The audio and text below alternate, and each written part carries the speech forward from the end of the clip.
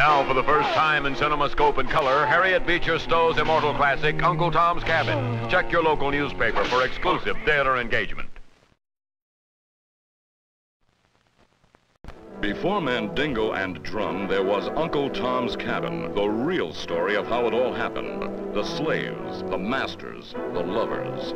What happened in Uncle Tom's Cabin is true as history and real as hate. The heated passions of our nation's most soiled pages of history are relived in Uncle Tom's Cabin. An experience you'll always remember from Independent International. Rated R for adults.